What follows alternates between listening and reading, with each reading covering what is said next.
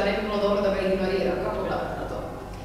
Pa mislim, mi smo i prošli tjedan i prije nego što je e, dakle, sudac Dobronić izašao, jučer objasnio zapravo kako on vidi tu situaciju, isto komentirali da se sudske službenike ne može poistovjećivati sa državnim službenicima, da se radi o drugim granama vlasti i da se mora uzeti u obzir njihove zahtjeve i da bi se njihove zahtjeve trebalo posmatrati i o njima pregovarati u kontekstu dakle, e, cijelog tog sektora. No, nažalost, kao što znate, premijer Plenković je svojim presedanom kad je e, situaciju sa liječnicima e, riješio tako da on ispadne glavni frajer, e, zapravo je doveo se u ovu situaciju da je otvorio Pandorinu kutiju i da se sada zapravo na ovaj način pregovara. Smatramo da je to loše jer podriva instituciju kolektivnog pregovaranja, instituciju sindikata i tako dalje, da bi se trebalo vratiti, vratiti u tom smjeru.